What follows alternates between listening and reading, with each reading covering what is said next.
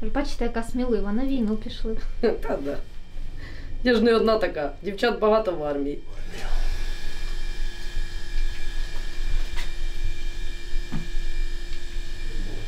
Там по 12 часов робити треба. То прийшлось вернутися назад.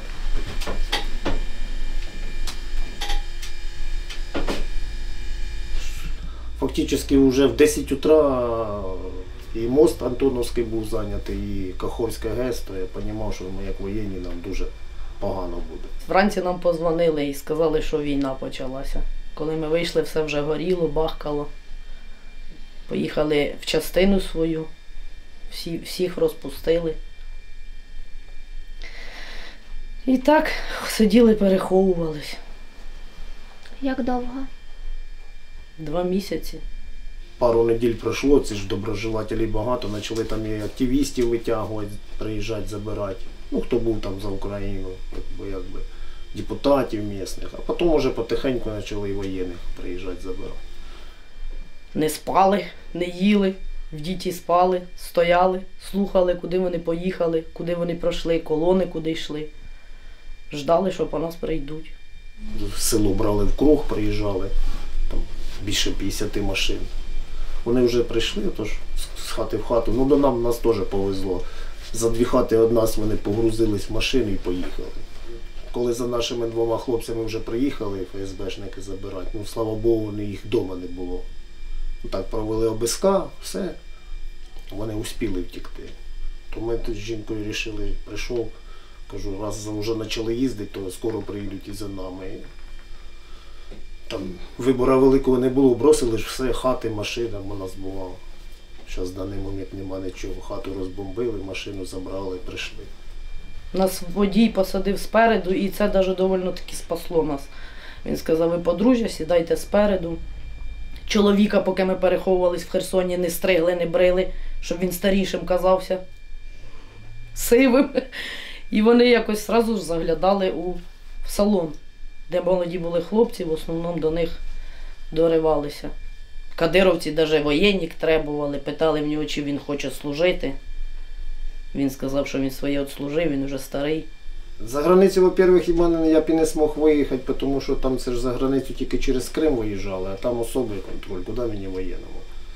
Я, допустимо, у мене була машина, я мог би їхати на своїй машині, але у них вже були еті, е, база даних по водителях, а машина стояла на мені. Тобто я не ризикував, бросив її. Тому що ми ось як виїжджали, кожного водителя вони водили, перевіряли там. Це сьогодні поїхало хлопцям, які нас захищають. Таку каструлю. Варимо. Борща, супа, казан каші, ті соки і молоко.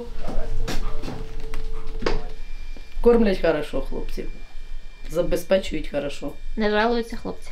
Ну, кожному мужчині хочеться м'яса, побільше м'яса. Е, Я служу е, командиром відділення такелажного. Е, Возим, ну, займаємося підвозом БК. Наші казали, що там їх бомбили на Луганщині, все.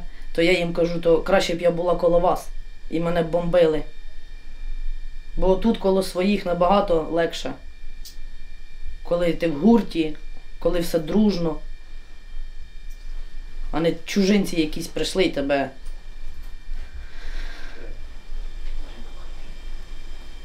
Що мені тут лякатися? Ми тут, я в свої, як би сказати, зі своїми побратимами. Тут всі свої. Страшно було там, де прийшли, і ти знав, що вокруг одні орки. Як собі тут налаштовуєте все? Аби спать їде, їсти їде. І то добре. Маня.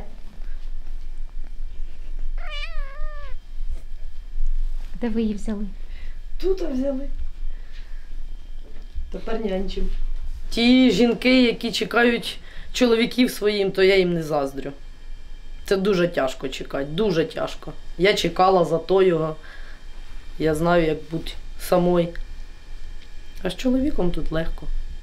Так тут стріляють, Ну, вибухають. хай стріляють. Лучше хай стріляють. Чим... Привикаєш до всього. Працюєш, голова другим забита. Херсонщину як освобождали, там страшніше було, там кожен день прилітало, де ми жили. Ну нічого. Ну я все одно не теряю надіжду, я і жінки кажу, що я вернусь додому. Десь мої чотири стовба я знаю, а хату построїмо. Ви хочете знову побудувати там хату? Звісно. Так я там родився вирос. Що мені? Ви любите Херсонщину? Я люблю свою, як то сказати, малую родину. То ви готуєте, виходить, і на кухні, і тут. Да, Ну що, я теж буває готую. да, бува борщ мені варе.